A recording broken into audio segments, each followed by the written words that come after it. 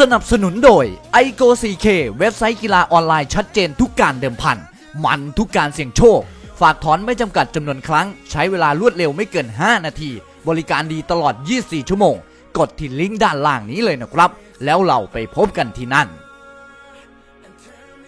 กระหึ่มซัปโปโรโดม ชนะทิพย์ผู้เล่นยอดเยี่ยม ภาพขึ้นจอยักษ์แฟนปรบมือกันทั้งสนาม ชนาธิปสรงกระสินธ์ทำผลงานเฉียบ จนได้รับตำแหน่งผู้เล่นยอดเยี่ยมประจำเกมเจลีกที่ช่วยให้คอนซาโดเลซัปโปโรคว้า 3 แต้มแรกในฤดูกาลนี้ได้สำเร็จเมื่อวันอาทิตย์ที่ 18 มีนาคมในปี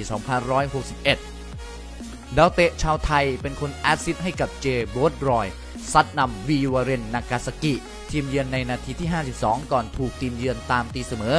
และก็เป็นเจ้าเจชนาธิปสรงกระสินธ์ก็รับบทฮีโร่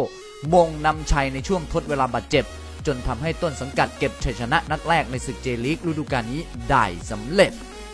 หลังจากเกมชนาคุงได้รับการประกาศให้เป็นแข้งคนไทยคนที่ 2 ในฤดูกาลนี้ ที่ได้รับรางวัลนักเตะยอดเยี่ยมประจำเกมต่อจากธีรศิลป์แดงดาที่โหม่งประตูชัยให้กับซันเฟเช่ฮิโรชิมาชนะคอนซาโดเลซัปโปโรไป 1 ประตูต่อศูนย์เมื่อวันที่ 24 กุมภาพันธ์ที่ผ่านมา โดยมิดฟิลด์ทีมชาติไทยเปิดใจอย่างมีความสุข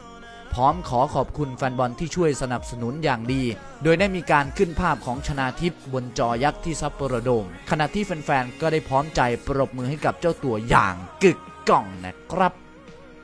สุดยอดจริง ๆ เลยนะครับสำหรับเจชนาธิปสรงกระสินธ์ภูมิใจจริง ๆสำหรับตัวผมเองนะฮะ